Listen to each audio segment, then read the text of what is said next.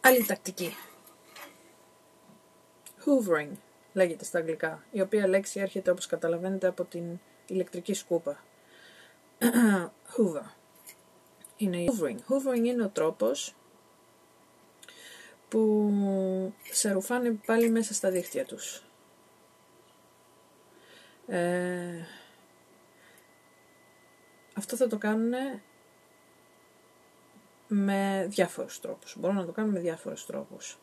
Όταν δηλαδή εσύ έχεις πάρει μια απόσταση, γιατί ακριβώς έχεις βάλει όρια ή έχεις τιμώσει ή έχουν ξεπεράσει τα όρια, τα επιτρεπτά όρια και τους βάζεις, βάζεις μια απόσταση μεταξύ τους και εσένα, ε, είτε έχεις θυμώσει και δεν θέλεις να τους μιλήσεις, δεν θέλεις να τους απαντήσεις στο τηλέφωνο, δεν θέλεις ε, να έρθεις σε επαφή μαζί τους. Εκεί θα χρησιμοποιήσουν τη τακτική του hoovering, της ηλεκτρικής σκούπας, για να σε ξαναρουφήξουν μέσα πάλι. Λοιπόν, αυτό μπορούν να το κάνουν με δωράκια. Προσέχετε πολύ τα δωράκια από έναν αρχισιστή. Ε, δεν είναι ποτέ από την καρδιά τους και με αγάπη. Πάντα υπάρχουν, υπάρχει ένας λόγος που το κάνουν. Αυτό μπορεί να είναι με κομπλιμέντα. Μπορεί να είναι με επίθεση από, από πίσω όπου ξέρουν ότι θα το μάθεις, θα θυμώσεις και θα ξαναέρθεις σε επαφή μαζί τους, έστω και για να τους βρίσεις. Δεν τους νοιάζει αυτούς. Αυτοί θέλουν να σε ξαναρουφήξουν μέσα, να, ξανα, να ξαναμπούν σε ένα παιχνιδάκι μαζί σου, ένα πάρε εδώ σε παιχνιδάκι, ε, όπου τραβάνε ενέργεια από αυτό, παίρνουν ενέργεια από αυτό. Λοιπόν, εάν δεν μπορούν με, με, σωστό, με καλό τρόπο, με σωστό τρόπο δεν υπάρχει, δεν είναι ποτέ ο σωστός ο τρόπος τους, θα το κάνουν με κακό τρόπο. Πάλι όμως, θα σε καταφέρουν να σε θυμώσουν, θα τους πάρεις εσύ τηλέφωνο για να τους πεις τι είναι αυτά που λες και ξαναμπαίνει ένα παιχνιδάκι το οποίο τους κρατάει ζωντανούς για λίγο ακόμα μέχρι την επόμενη. Ε, αυτή τη στιγμή εγώ ζω ένα, ε, έχω πέσει, έπεσα κιόλας, έπεσα μέσα στη, στα δίχτυα πάλι με ένα απλό κομπλιμέντο. Δεν ήθελα πολλά. Όταν είμαστε ε, παιδιά τα οποία έχουμε μεγαλώσει μες στην κριτική και όλα αυτά, λίγο ένα κομπλιμέντο, μία αποδοχή, την, την έχουμε ανάγκη. Και εκεί πέφτουμε κορόιδο, εκεί το ξέρουν. Ε, και μας πιάνουν κορόιδο κάθε φορά. Ε, όσοι ξέρετε την ιστορία με τις ελίες, και είχα αποσυρθεί τελείως και της λέω δεν ξανασχολιέμαι με, τα, με το μάζεμα των ελιών και με τα δέντρα. Γενικά σε τίποτε. Δεν σου κάνεις ξανακάνω καμία δουλειά γιατί δεν τη σέβεσαι τη δουλειά που κάνω και όχι μόνο δεν τη σέβεσαι, δεν σου ζητάω ούτε ευχαριστώ ούτε τίποτα, ούτε έπαιρνω τίποτα, έτσι. Σου ζητάω να μην με κρίνεις όμως. Και να μην κάνεις λες και δεν έχω κάνει τίποτε.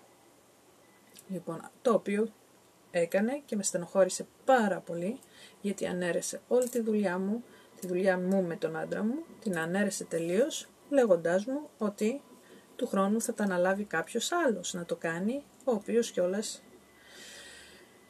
θα έπαιρνε πάνω από το μισό λάδι. για μια δουλειά που εμείς κάνουμε τζάμπα τόσα χρόνια. Έτσι, χωρίς να πληρωθούμε, παίρνοντας το πολύ 20 λίτρα λάδι. Ε, και το κάνουμε με όλη μας την καρδιά.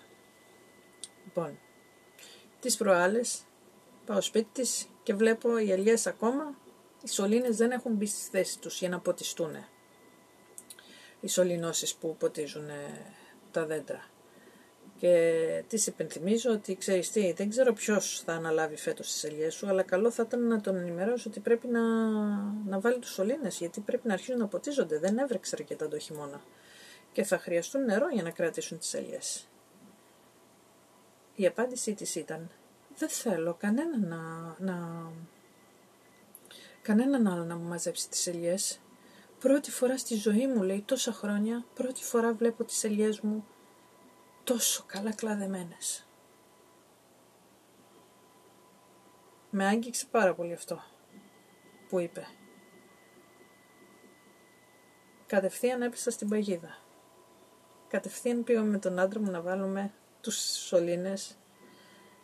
Βέβαια πριν τις εξήγησα. Της λέω Καλά, άλλα έλεγες πριν λίγες μέρες και Μας έδωσε να καταλάβουμε ότι δεν κάναμε και τίποτα στην ουσία.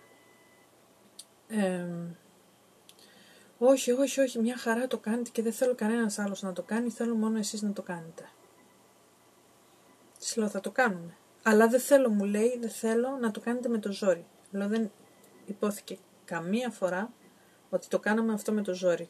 Αντίθετα, ξέρεις πολύ καλά ότι το γουστάρουμε κιόλας. Έπαιξε και ένα παιχνιδάκι για να δικαιολογηθεί, δικαιολογήσει της στάσης της. Λέω, αυτό που δεν μ' άρεσε όμως, λέω, είναι ότι μετά το ανέρεσες τελείως. Όταν έρχεσαι και μου λες ότι θα το κάνει κάποιος άλλος και μου αναφέρεις τι θα κάνει ο άλλος, που είναι ακριβώς αυτό που κάνω, είναι σαν να μου λες ότι ο άλλος θα κάνει και αυτό και αυτό και αυτό. Είναι σαν να μου λες ότι εγώ δεν έκανα αυτά τα πράγματα. Όχι, όχι, δεν είναι έτσι. Ε, ξέρω, ξέρω πόση δουλειά βάζει και όλα αυτά. Ξαφνικά αλλάζουμε τελείως τέτοιο. Και εγώ πέφτω σαν βλάκας μέσα στην παγίδα. Και βάζουμε τις σωληνώσεις και όλα. Και θα ποτίζουμε τα δέντρα και θα τα ξαναμαζέψουμε, όλα αυτά τα ξέρω. Αυτή τη φορά όμως δεν θα της δώσω μια τελευταία ευκαιρία και θα σηκωθώ να φύγω και θα της πω δεν το ξαναναλαμβάνω άμα με κρίνει με κριτικάρει. Αυτή τη φορά θα πάρω όλη την υπόθεση στα χέρια μου και δεν θα της δώσω και κανένα δικαίωμα να ξαναμιλήσει ποτέ. Ποτέ. Αν αυτό σημαίνει ότι θα τη βγάλω, θα τη βγάλω, δεν χρειάζεται να τη βγάλω, η γυναίκα είναι τέλειος τρελή. Ε, δεν ξέρω πώς θα γίνει, αλλά θα γίνει. Δεν θα κάνω πίσω αυτή τη φορά. Δεν θα, δεν θα, δεν θα αγγίξει τον εγωισμό μου να σηκωθώ και να πω καλά, κάντα μόνη σου. Δεν υπάρχει περίπτωση. Λοιπόν, άρα ξαναμπαίνω μέσα στο παιχνίδι και ξαναμπαίνω να κάνω τις δουλειές για τις οποίες δεν εκτίμησε ποτέ με την ελπίδα ότι αυτή τη φορά θα το εκτιμήσει. Hoovering λοιπόν. Με ένα μικρό κομπλιμέντο. Τράβηξε πίσω. Η ηλεκτρική σκούπα με τράβηξε πάλι μέσα στα δίχτυα.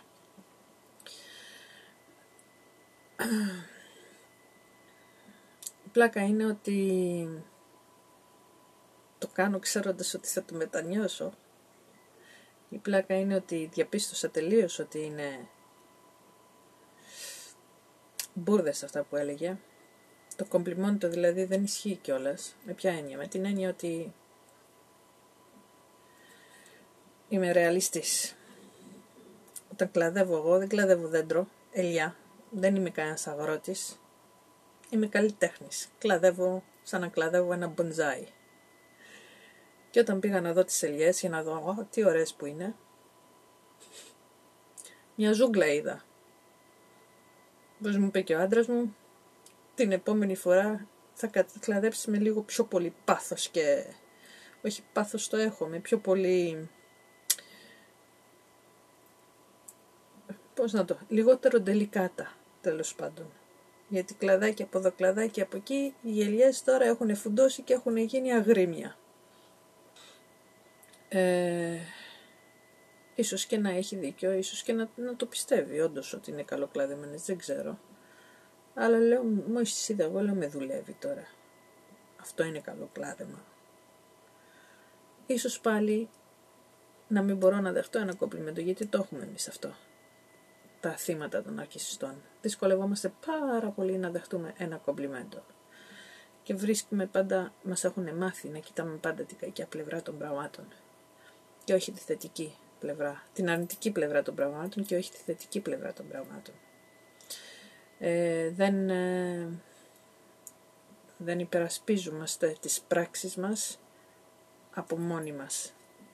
Όταν κοντραριστούμε, όταν κάποιος πάει τελείως να μας κατεβάσει, μα αν ξέραμε να υπερασπιζόμαστε σωστά και να, να πιστεύουμε σε αυτά που κάνουμε, δεν θα βρισκόμασταν σε αυτή τη θέση κιόλας. Έτσι μας δημιουργήσανε, έτσι μας κάνανε να πιστεύουμε ότι δεν έχουμε καθόλου αξίες. Δεν είμαστε άξιοι για τίποτε. Κυρίως τα μαύρα πρόβατα της οικογένειας που λέμε. Ε, είναι ένα κλασικό συνέστημα του μαύρου πρόβατου. Scapegoat στα αγγλικά θα συναντήσετε τη λέξη. Ε, να μην πιστεύει αρκετά στον εαυτό του, να μην πιστεύει ότι μπορεί να τα καταφέρει και να μην δέχεται πολύ εύκολα, να μην ξέρει, όχι να μην δέχεται, δεν ξέρει τι να κάνει με ένα κομπλιμέντο. Του κάνεις κομπλιμέντο και δεν ξέρει τι να το κάνει, δεν ξέρει πώς να το χειριστεί.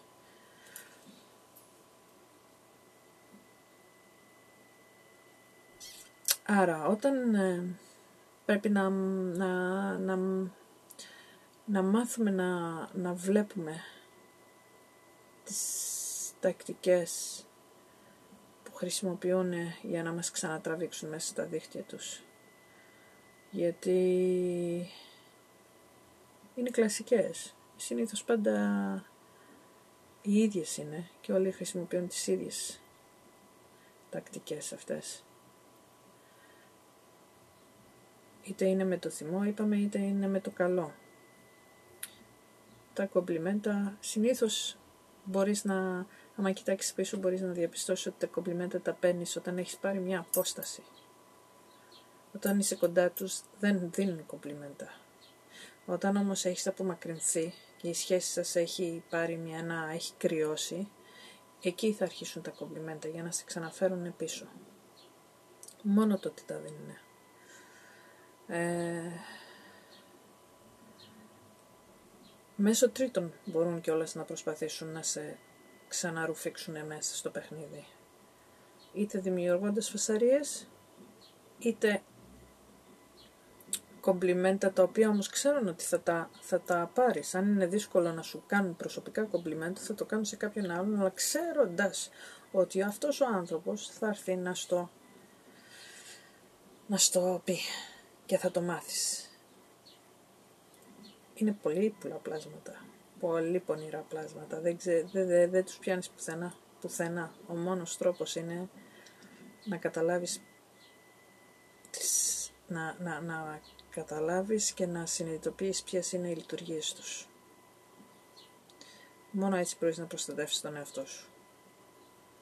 Αν δεν είναι να κόψεις τελείως επαφή αν δεν είναι και αναγκαστικά δεν μπορείς, τουλάχιστον μάθε πώς λειτουργούν. Ευχαριστώ. Yes.